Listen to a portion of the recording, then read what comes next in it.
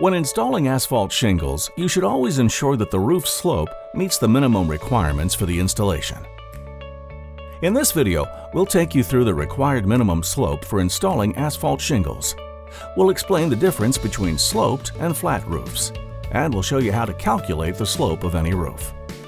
Let's jog your memory here. Think back to high school math when you would plot points on a graph and look into finding the slope of the line. It's the exact same equation of rise over run.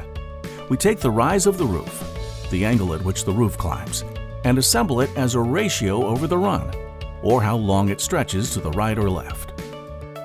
Traditionally, residential roofs had 4 or more inches of rise for every 12 inches of run, with low-slope roofs having a rise of between 2 to 4 inches and anything under 2 inches being classified as a flat roof.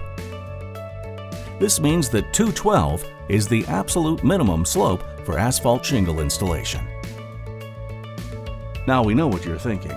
Why 212? Why does the pitch of my roof matter anyway? Well, it's an amazing architectural design feature that helps shed water.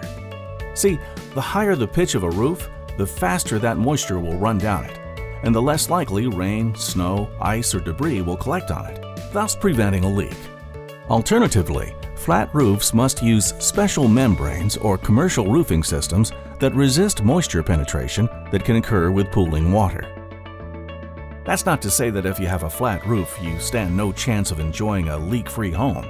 It's just that flat roofs require a completely different installation process and materials to keep moisture out. Some types of shingles require higher sloped roofs to perform in all weather. Always confirm your shingles installation requirements with the manufacturer.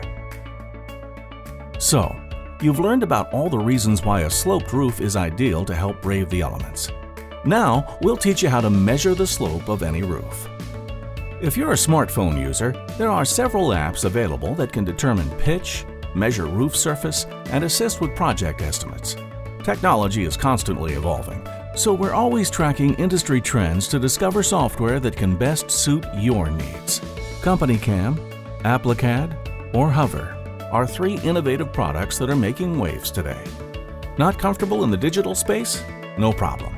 Let's walk through the process of measuring slope using nothing more than a tape measure. Take your measuring tape to your eaves edge, positioning it as close to the wall as you can go. Measure out 12 inches exactly this will be the run of your slope.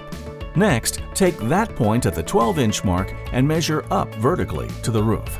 This is your rise. Arrange into a rise over run ratio.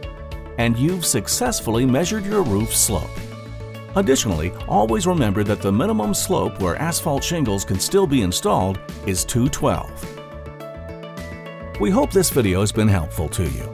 If you're looking to learn more from the experts at IKO, please like this page and follow us for more great content.